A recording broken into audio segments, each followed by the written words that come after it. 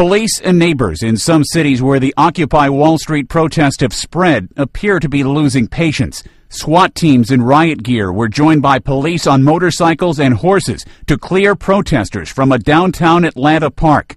They had been camped there for about two weeks. At least 50 people were arrested. Before police marched in, protesters were warned a couple of times to vacate the park or risk arrest.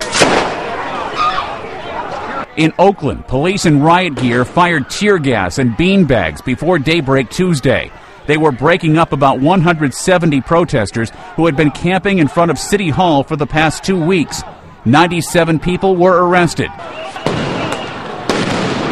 City officials in Oakland had initially been supportive of the protesters, but tensions reached a boiling point after a sexual assault, a severe beating, and a fire were reported, and paramedics were denied access to the camp, according to city officials. They also cited complaints about threatening behavior and concerns about rats, fire hazards, and public urination. When police moved in, they were pelted with rocks, bottles, and utensils from people in the camp's kitchen area.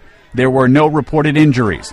Protesters were taken away in plastic handcuffs, most of them arrested on suspicion of illegal lodging. In Providence, Rhode Island, the mayor is threatening to go to court to evict demonstrators from a park. City officials say grass is getting damaged and they want to close the restrooms and prepare the park for winter. And at the unofficial headquarters of the Occupy Wall Street movement, businesses and residents near New York's Zuccotti Park are demanding something be done to discourage protesters from urinating in the street and making noise at all hours.